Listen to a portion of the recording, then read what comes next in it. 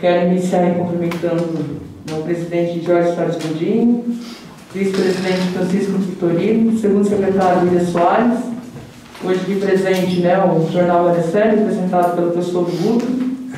Bom tê-lo de volta, Guto. Aos internautas que estão assistindo, diretor da casa, Léo, aos funcionários. Então eu quero iniciar aqui falando né, do requerimento, que eu sempre falo, às vezes, né, principalmente quando grupo de pessoas me procuram, é, me questionando sobre algumas coisas dessa casa e perguntam quando um requerimento ele é reprovado e, e vem me questionar o porquê, por que você não votou contra, ou por que ele foi votado contra. Eu acho assim, requerimento, é, acho não, né? Está no regimento, né? uma das normas do regimento, é um direito do vereador requerer. Hoje eu só votei contra o requerimento número 80, né, proposto pelos nobres colegas, porque eu acho ainda cedo, né, a gente votou um projeto recente, que ainda não se deu tempo de se fazer um trabalho. É claro, né, como dizem né, alguns vereadores colocaram hoje, iremos acompanhar né, o andamento da aplicação desse dinheiro, como ele está sendo aplicado, sim. Se eu perceber também, né, todos me conhecem aqui, se eu perceber que ele não, não está sendo aplicado de uma forma adequada ou qualquer coisa que nos levante alguma coisa que a gente tem que, que verificar, tem todo o meu apoio, sim. Pode propor um requerimento de novo, que eu sou favorável também, sou a primeira a propor um requerimento.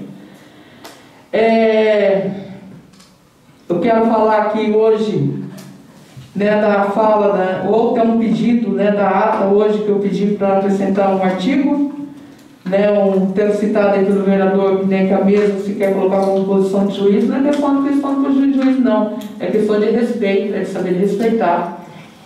É, nós temos um regimento onde ele tem que ser respeitado sem e tem um artigo. Acho que a gente tem uma lei dentro da casa onde nós propomos a lei, votamos e não executamos e não respeitamos, então por que, que existe a lei? O que nós estamos fazendo aqui? Qual é a nossa função? Eu acho que o primeiro tem que partir de nós, né? Eu falo que eu não, eu não conheço o regimento de cavalo, né? Mas esses três anos né, e, e meio que estou aqui, né, quase quatro anos, algumas coisas, o essencial do regimento nós temos que saber e temos que cumprir. Eu já tive alguns problemas aqui com a mesa, por questão de regimento, né, de não obedecer o regimento, e que aquele tiver que ser cobrado do regimento, eu vou cobrar. Sinto muito, é o que está na lei. Uma lei que foi aprovada aqui por né, vereadores que passaram por essa, né, por essa mesa, por essa casa atrás aqui. Então a gente tem que. É, então, do artigo 4, eu vou começar falando, porque né, eu fiz duas indicações, e eu nunca vi discutir é, indicações nessa casa, a gente discute requerimento, não é indicação. É, como né, no artigo que eu coloquei que o vereador desrespeitou, que ele foi discutir uma indicação minha sem ter sido citado, né? E, e eu achei, eu, eu também, eu fui desrespeitado por colocar que eu estou fazendo política é, impondo. Não estou impondo, quando o vereador indica, está indicando, compete ao executivo avaliar, analisar e depois ele verificar. O gente não recebe nem resposta à indicação né, se é possível de executar ou não. Essa é a função da indicação. É, quanto foi que eu fiz a indicação na semana retrasada, foi uma reiteração de um requerimento do ano passado, quanto né, a, a revisão né, dos salários dos auxiliares de enfermagem dos PSFs. Né, fui procurada novamente, fiz no ano passado, esse ano novamente, é, e também pelos né, profissionais, né, os socorristas técnicos da SAMU. Tem a lei federal complementar número, né, é, a lei de 27 de 5 de 2020, uma lei federal, onde né, que nós, todos os funcionários públicos, eles hoje não têm aumento de salário, não têm ingresso de, em concurso público, é, Nessa, é o meu caso, né? eu tenho uma, uma, evolução, eu não vou ter direito, eu tenho direito de estar entrando nessa evolução agora, mas eu vou receber só lá 2022, olha lá ainda, né? ou quando nessa essa pandemia, enquanto ela perdurar, a gente não tem né, evolução, a gente não tem aumento de salário. Tudo aquilo que acarreta aumento de despesa. Aí está lá no, no, pará, no artigo 8 do parágrafo 5 da lei federal. Essa lei, ela, ela, o artigo ele não se aplica à saúde quem é a saúde? Aqueles que estão à frente da pandemia. Se me falar que um auxiliar não está à frente de uma pandemia, que um técnico, um socorrista no SAMU não está à frente dessa pandemia, quem está então? Fica aqui uma interrogação. Mas eu vou dizer hoje para os profissionais de saúde, em conversa com o chefe do gabinete, até mesmo com o prefeito, quero agradecer ao prefeito pela atenção. É, hoje existe uma discussão que é o plano de carreira da saúde, né, já se iniciaram né, as discussões, criou-se já uma comissão avaliativa né, da, de todos os departamentos da saúde, onde uma das temáticas sendo discutida é o tempo de trabalho, né, o tempo na função do profissional e as especificações acadêmicas. Nessas especificações eu vou, vou citar aqui, né, eu tenho minha irmã, ela é, hoje ela é concursada na prefeitura como auxiliar, mas ela é formada. Ela se formou como enfermeira, então ela tem uma evolução acadêmica. Então, assim, é um, um projeto que, né, é de grande importância para os profissionais, porque eu trabalhei na saúde. Eu trabalhei né, na década de 90 até 98, né, é, me afastei até para estudar, com a pretensão de voltar, depois acabei me apaixonando pela educação e aqui permaneci, estou há 25 anos na educação. Mas eu tenho colegas que hoje trabalham na saúde que recebem o mesmo salário do iniciante agora. Quem inicia hoje, ele recebe o mesmo salário que o outro que está há 25, 30 anos se aposentando. Isso não é justo. A gente precisa brigar por isso sim, não é impor. É colocar, eu agradeço, eu agradeço né, ao, ao Alexandre pela atenção, eu agradeço ao prefeito que está dando atenção né, a essa temática. Hoje né, foi, foi colocado, só tem-se uma preocupação com o impacto financeiro do município, né, de, de, devido à né, a, a, pandemia do Covid-19. Mas os profissionais eles podem ficar é, tranquilos que o projeto está em estudo.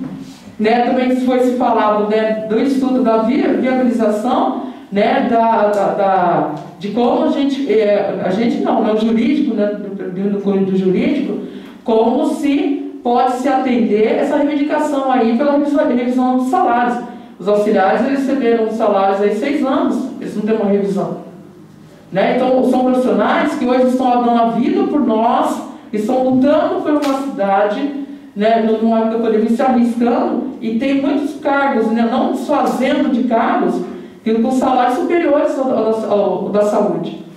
Então, eles precisam sim, sim ser é, é, eu acho que a única gratificação, reconhecimento, é através do salário, sim, também. É um dos reconhecimentos que devemos dar. Então, eu fico grata aí, né, a, a questão aí com o prefeito, com o Alexandre, né, o chefe do gabinete, aí, junto com a sua equipe e com a sua comissão, né, de, estar estudando essa possibilidade. Sabemos que o município parou de arrecadar? Sabemos que parou de arrecadar, são ciências de tudo.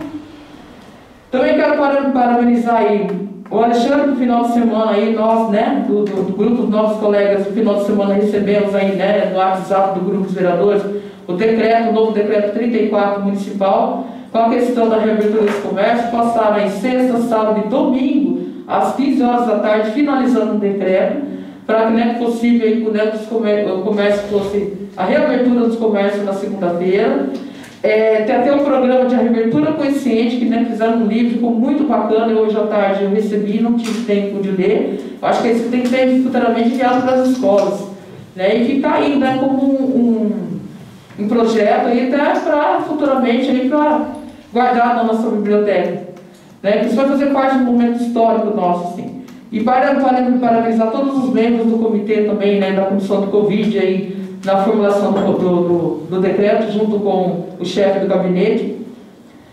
É, também, hoje quero falar aqui da, da educação, né, nós começamos ontem é, o estudo, né, junto com as comissões aí, né, de educação, a Comissão de Justiça e Redação, estava presente né, o, até a Comissão de Finanças do Abel, né, o vereador Luiz presente, começou a estudar o plano de carreira do magistério, nós vamos debater? Vamos debater.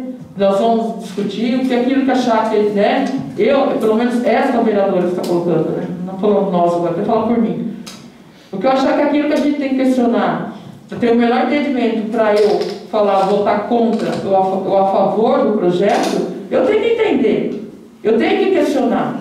Então, é, é, um, é um projeto que vai levar um tempo, né, que ele demanda tempo, e E a gente está aí né, com, com, com todo né, cuidado e com dedicação. Ele será tratado com muito carinho. Né? Eu digo aos professores que fiquem tranquilos. Aquilo que a gente achar, eu, aliás, que eu achar que, né, que, que vá prejudicar ou que não vá ser satisfatória a carreira, a gente chama para discutir novamente. Quanto é, a fala aí né, do hoje, né? Hoje o tema também foi o secretário. Eu quero parabenizar aí todas as secretarias aí.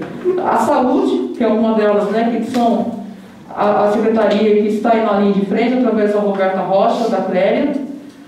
É, a Secretaria do Meio Ambiente, que a gente não pode esquecer dos nossos coletores, que estão aí no bairro né, fazendo a coleta do lixo junto aí com a, com a Naira. Nós temos nossos braçais aí na rua.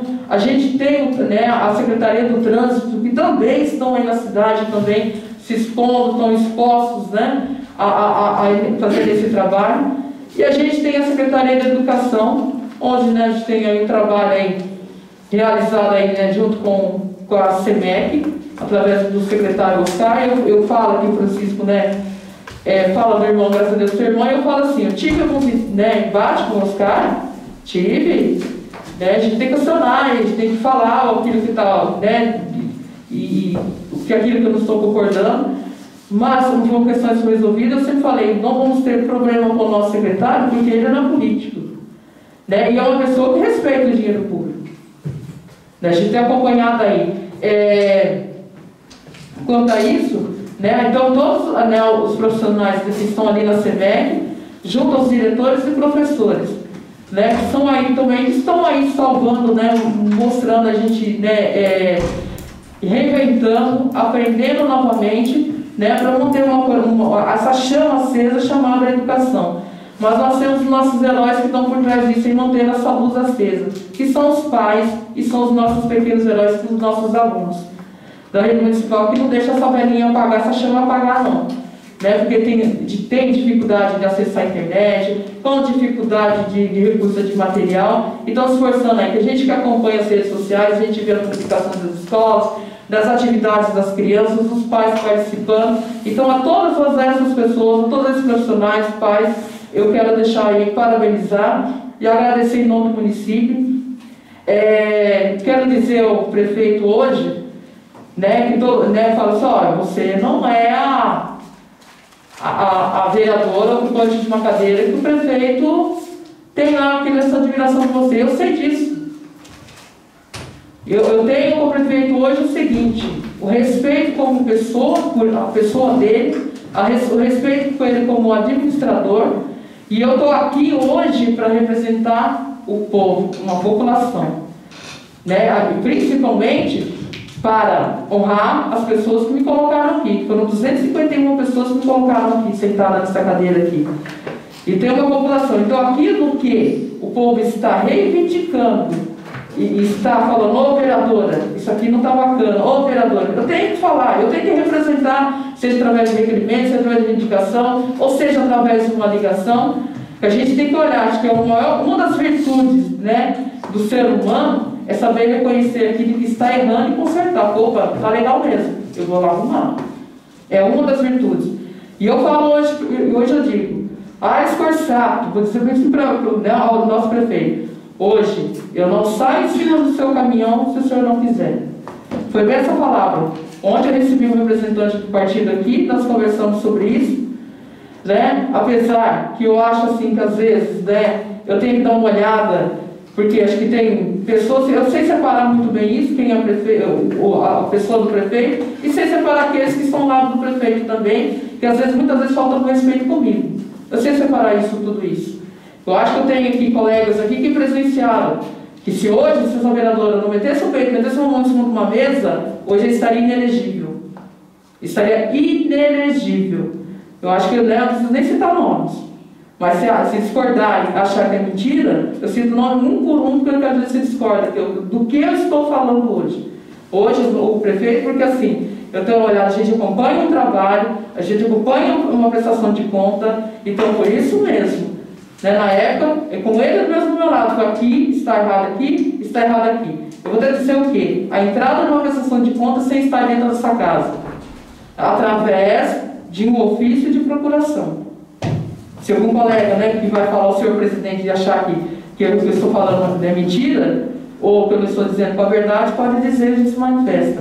Mas hoje, se eu, né, eu fosse outra pessoa, se fosse uma pessoa maldosa, eu tivesse a finalidade de não estar aqui hoje apoiando o município, estar com, com o povo, estar com o prefeito, hoje ele estaria inelegível. Obrigado, boa noite.